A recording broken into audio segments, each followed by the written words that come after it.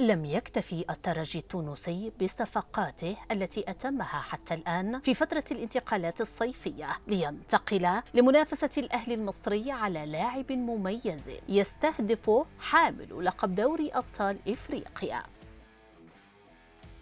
تستمر جهود إدارة الترجي التونسي الكبيرة في الفترة الحالية للاستفادة بأكبر قدر ممكن من فترة الانتقالات الصيفية الحالية لضمان المنافسة على مختلف الألقاب في الموسم المقبل.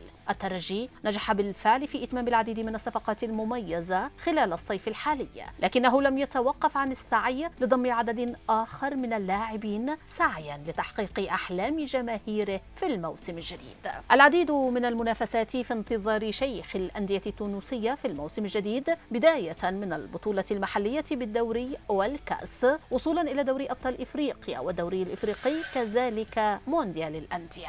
الترجي يسعى للحفاظ على لقب الدوري المحلي الذي استعاده في الموسم الماضي بخلاف البحث عن الفوز في البطولة القارية بعد غيابه عن منصات التتويج منذ 2019 شيخ الأندية التونسية أتم العديد من الصفقات لكنه يتحرك في الوقت الحالي بكل قوة. قوة لقطع الطريق على الأهلي المصري لاستعادة نجمه السابق محمد علي بن رمضان والذي يلعب حاليا في صفوف فرانك فاروزي المجري. بن رمضان بالفعل وافق على العودة من جديد إلى صفوف الترجي الذي لعب له منذ 2018 وحتى 2023 في خطوة كبيرة من إدارة شيخ الأندية التونسية. ولكن حتى الآن لم يحسم صيغة الانتقال لفريقه السابق. تدرس إدارة الترجي التونسي في الوقت الحالي. ضم محمد علي بن رمضان على سبيل الإعارة لمدة موسم واحد مع إضافة بند بأحقية الشراء في عقده أو التحرك للتعاقد مع اللاعب بشكل نهائي خلال الانتقالات الصيفية الحالية.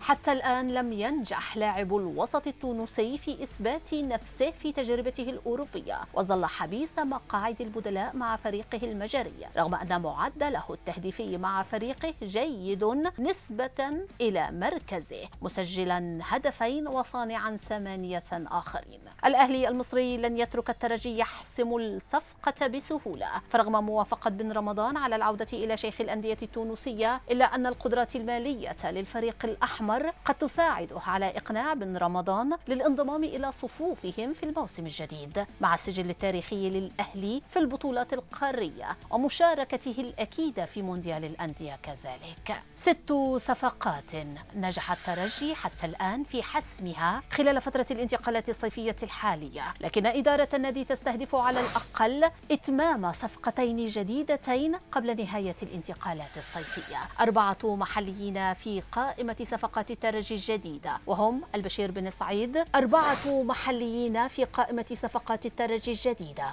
وهم البشير بن سعيد والمدافع حمزة القلاصي والظهير الأيسر أيمن بن محمد والمهاجم يوسف العبدلي بخلاف ثنائي من المحترفين الأجانب وهما الجزائري يوسف البلايلي والجنوب إفريقي إلياس موكويانا.